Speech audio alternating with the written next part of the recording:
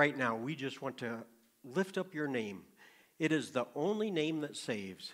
And Father, we're here as brothers and sisters in Christ to glorify you. Lord, I just pray that the anointing be upon Lisa as she shares with us her testimony about you. Father, I pray that you would help us to just be open to everything that the Holy Spirit has for us this morning through the testimony, through the sermon, through the singing and the worship worship because you are worthy of all our praise. In Jesus' name, we ask these things. Amen. Lisa? Well, good morning. As you all know, my name is Lisa Hughes, and I've been asked to share a testimony, and uh, so I'll get right into it. Um, when I was a kid, there was a lot of bad things that happened to me all throughout my childhood. In fact, my first life memory at age two is pretty heart wrenching. There are months and even years of my life that are blocked out of my mind. And there are things that I wish were blocked out of my mind. But I'm not going to talk about any of that because I don't want to give the devil 15 minutes of fame. And I don't want to hurt the people whom I've chosen to forgive.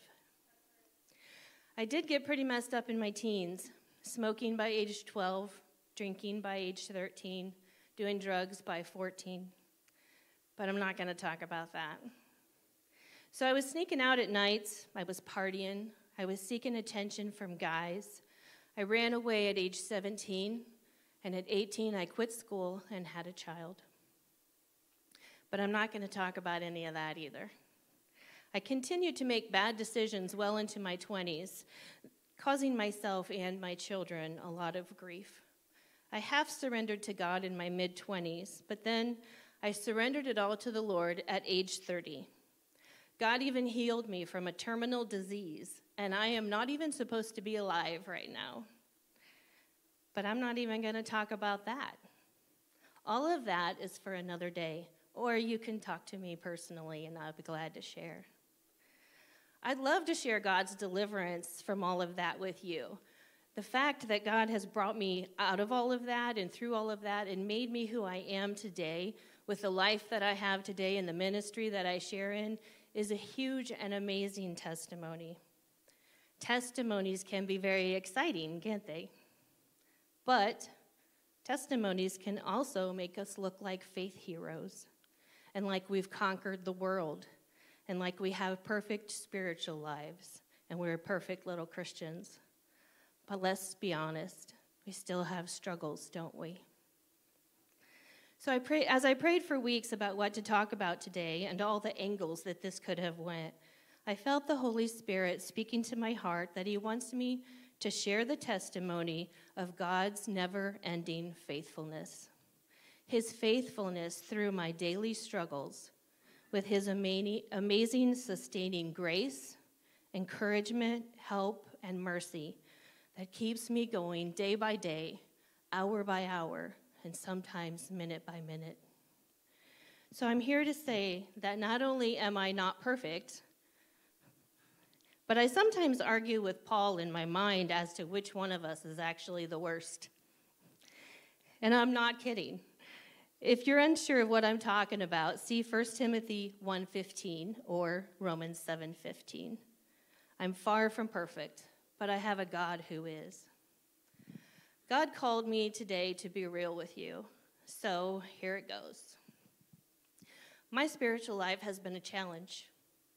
I'm told that I'm too hard on myself, but I also know myself better than anyone but God, and sometimes it's just not too pretty. I've had some very rocky times. There have been times where I've actually almost walked away from God. And I came so close that it still makes my heart shake in fear when I think about it.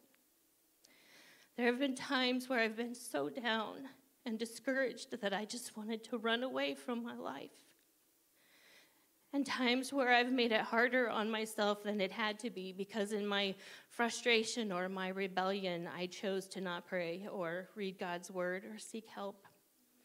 Until I'd get to the point where I'd be face down on the floor, bawling my eyes out to God And of course, I don't tell people about my struggles because I don't want to look weak or be embarrassed in front of all you perfect, godly men and women.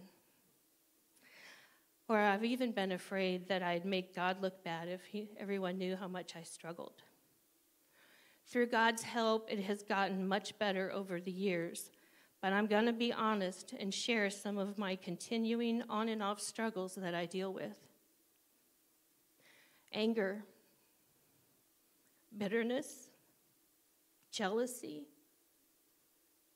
doubt and confusion, self esteem issues, self pity and depression, disordered eating, stinking thinking, struggling with my past, the battlefield in my mind, and being my own worst enemy, struggling with forgiving myself and times of feeling very disconnected from God.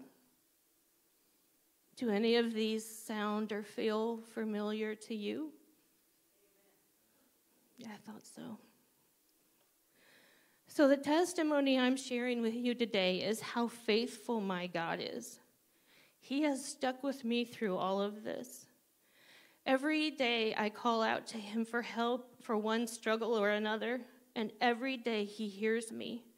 And every day He answers me, and He gives me what I need for that day, not only to survive, but to thrive and to grow and to succeed.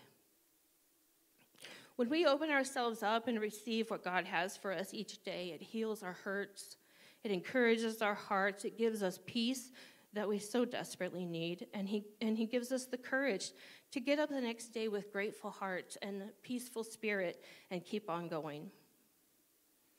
When I do find myself on the floor crying out to God, He always comes. He always intervenes, and He always brings me the peace that passes all understanding. I would be nothing and nowhere without His daily provision. So there it is. God wanted me to be open and honest with you, and I did. But I believe that He's wanting and challenging you to do the same. So be real, be honest, be vulnerable. Don't pretend you have it all together. We need each other. So let's be compassionate and not judgmental. We need to feel that it's, it's safe to open up to one another and know that we're loved and that we'll be prayed for. So let's support each other through this challenging life on earth. Life is full of mountains and valleys. Sometimes we're fine, sometimes we're not. In a minute, I'm going to have the guys play a song, and I'd like to give each and every one of you the opportunity to come up to the altar and connect with and talk with our amazing God. One on one, just you and God. You can come and kneel at the altar, you can come and stand, or you can even sit in the front pew, whatever you'd like to do. But please just come. Ask Him to help you to be real, to be open and honest with Him and with your Christian family. Ask Him to help you through your daily struggles. Ask Him to help you love and support your brothers and sisters. Ask Him for forgiveness for hiding your flaws and forgiveness for judging others. Go ahead and start the music.